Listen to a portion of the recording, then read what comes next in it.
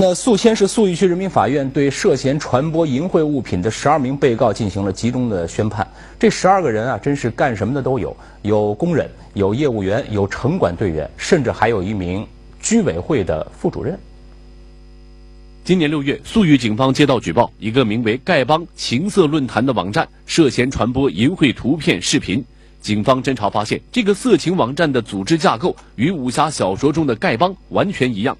网站由丐帮原创分舵、丐帮影视分舵等九大板块组成，每个板块又有若干子板块，管理员由高到低分为帮主、长老、舵主等，职务越高，权力越大。时任盐城射阳县某社区居委会副主任的王某，也在一次偶然的机会担当起了舵主的重任。在进去之后，就是人家那个。管理员，管理员那个发，他他发的是那个群信群发信息，他给我的，嗯，因为做后台的。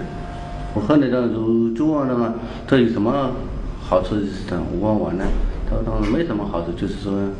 你可以随便看他们内容。比起普通会员，舵主可以在网站里随意浏览。王某马上答应了对方，当起了舵主。有权利就会有义务。身为舵主，在任意浏览网站内容的同时，还要对网站进行管理。就是帮助他那个看看帖子吧，现在是人家发的帖子好不好，是不是符合要求的？嗯，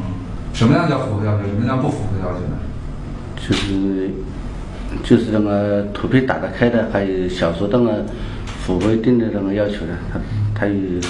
规定的。经过调查取证，包括王某在内的十二名舵主相继被警方抓获。近日，宿豫区人民法院依法公开审理了此案。法庭审理查明，十二名被告人在今年一月至六月间。分别注册成为丐帮情色论坛的会员，并分别接受网站招募，担任论坛下设的丐帮美图分舵、丐帮原创分舵、分舵 VIP、丐帮事务分舵舵主，对网站会员发布的淫秽影视、图片、小说进行管理。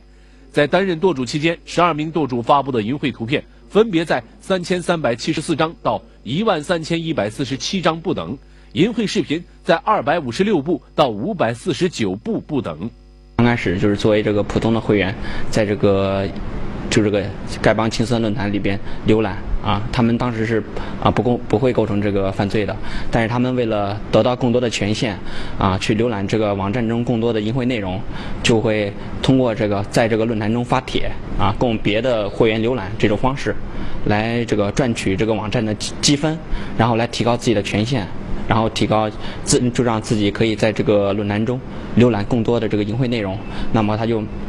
后来的行为就触犯了这个刑法，就构成犯罪了。法院审理后认为，王某等十二人的行为已经构成传播淫秽物品罪，分别被判处两个月十五天至八个月不等的有期徒刑。江苏城市频道为您报道。